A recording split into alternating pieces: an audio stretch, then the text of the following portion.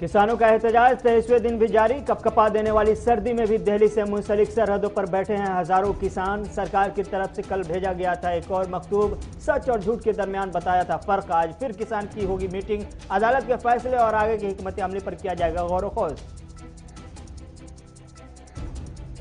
वज़ीर दफ़ा राजनाथ सिंह का बड़ा बयान, वक्त के साथ बढ़ता जा रहा है सिक्योरिटी का खदशा मुस्तबिल सिक्योरिटी का मुस्तबिल में सिक्योरिटी का होगा बड़ा मसला, खतरात और जंग की तस्वीर भी बदल रही है।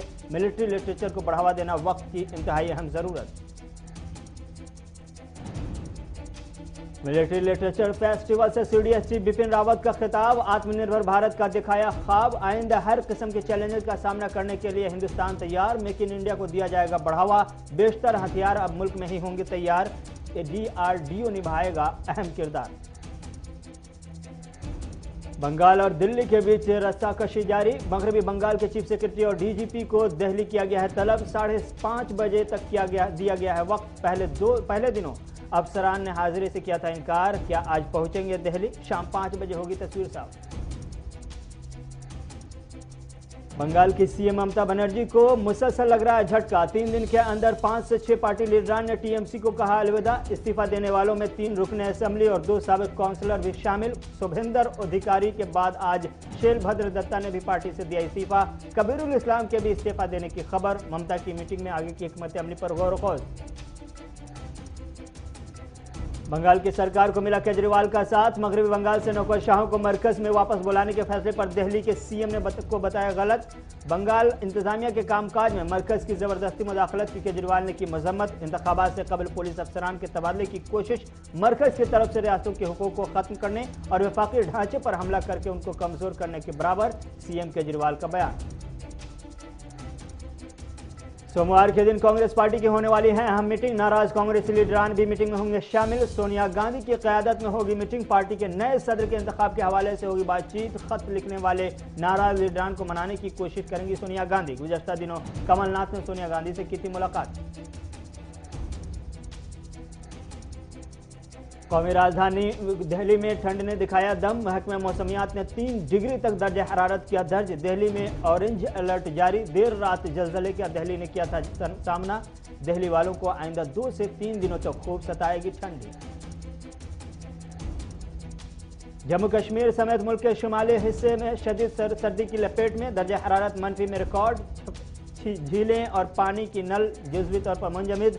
जम्मू कश्मीर और लद्दाख में 21 दिसंबर में मौसम में तब्दीली का इम्कान। धुंध से मुतद इलाकों में ट्रैफ़िक हुआ मुतासर।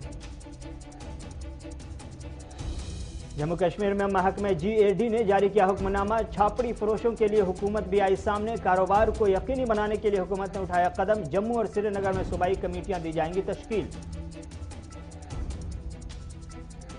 जम्मू कश्मीर में महकमा तालीम की तरफ़ से वजीफे पर उठ रहे हैं सवाल। कश्मीर के मुकाबले में जम्मू को मिला बड़ा हिस्सा। मरकजी मामलत वाली स्कीम के तहत महज 22 फ़ीसद कश्मीरी तलबा को मिला वजीफा।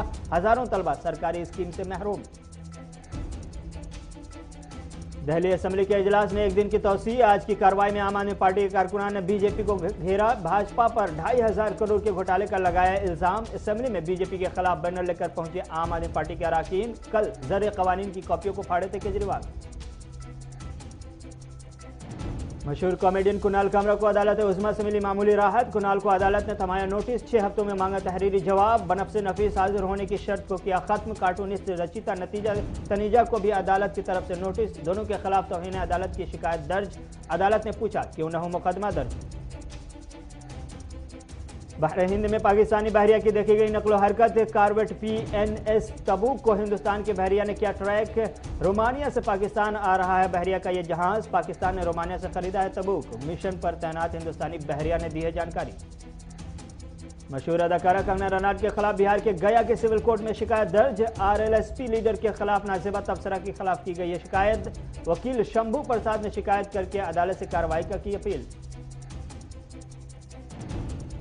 पीएम मोदी के खास प्रोग्राम मन की बात की नई तारीख का ऐलान। 27 दिसंबर को एक बार फिर पीएम मोदी करेंगे मन की बात। ठंड कोरिया वैक, कोरोना वैक्सीन पर रख सकते हैं अपनी बात। किसानों को समझाने और ज़रिए कवानीन के फ़ायदे भी बता सकते हैं पीएम मोदी। दीगर कई अहम इश्यूज़ पर भी पीएम मोदी कर सकते हैं बात।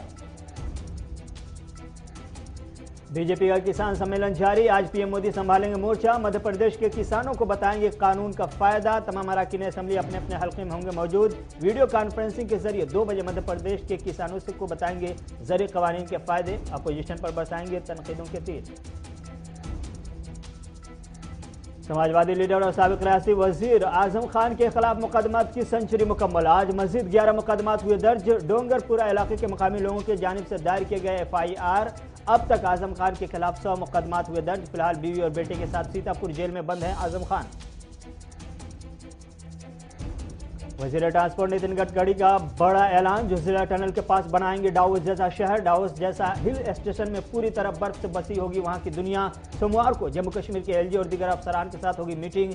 इस हिल स्टेशन से जम्मू कश्मीर और लेह के पचास नौजवानों को मिलेगी नौकरी। आलमी वबा कोरोना वायरस में मुबतला फ्रांसीसी सदर मैनुअल मैक्रून कोरोना पॉजिटिव। एक हफ़्ते कबल एक हफ़्ते के लिए मैक्रून हुए क्वारंटाइन।